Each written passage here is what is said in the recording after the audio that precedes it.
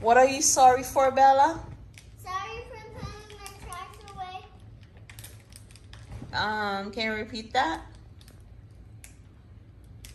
Sorry for putting my trash trash away. No, that wasn't trash, sweetie. That was your food, right? Right. Your food was not trash. So basically, you should be apologizing, saying that you are sorry for throwing your food away, right? For trash for putting my trash away. You mean for putting your food in the trash? Putting my food in the trash. Are you gonna do it again? I didn't. I said, are you going to do do it again? Are you going to put your food in the trash again? No. You sure? Next time I'm gonna give you food and it's veggies and fish and good healthy food. Are you gonna throw it away again? Huh? Ma'am. Yes, ma'am. You gonna throw it away or you are not going to throw it away? I'm not. You're not. Okay, so that's good. All right?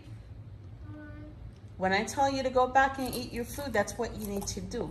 You need to go back and eat your food and not throwing your food away. Do you understand me? Okay.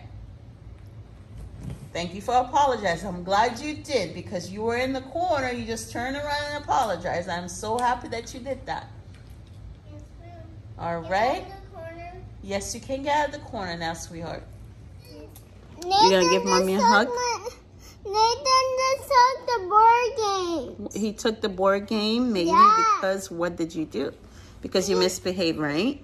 Because Nathan just took the board games because because Daddy just told me to put it away. Oh, your father told him to put it away. Yeah. Maybe because you were too busy playing with it instead of eating your food, right? Yes, ma'am. Okay. So are you going to throw your food away again next time? No. Okay, that's good, right? That is very good. I'm glad you learned your lesson. Okay?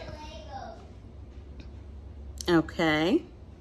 Okay. Oh, I love you, sweetheart. Love you.